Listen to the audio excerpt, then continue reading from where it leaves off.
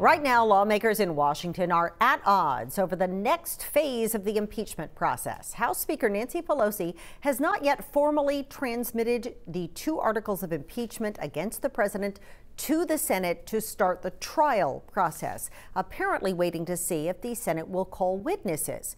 One of President Trump's former top advisors says he's willing to come before Congress and testify. But just minutes ago, Senate Majority Leader Mitch McConnell said he is ready to proceed with the impeachment trial with no agreement on witnesses. That is not the only issue Congress faces in Washington. The other, of course, the threat of revenge and a re revenge attack from Iran. Now, this afternoon, the Senate Intelligence Committee was scheduled to get its first closed-door look at the White House details on why it chose to attack and kill General Soleimani in Iraq.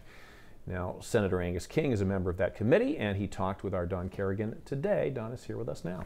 Hi, Lee and Cindy. Uh, Senator King said, who's uh, presumably reviewing those documents now, Senator King said that Americans should be very concerned about the potential for what Iran could do in retaliation for the attack on General Soleimani, and then how the U.S. might respond to that.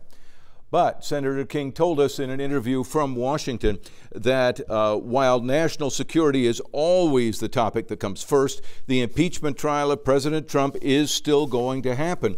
And the senator said he wants the Senate to hear from some key witnesses who could shed light on what did or did not actually happen.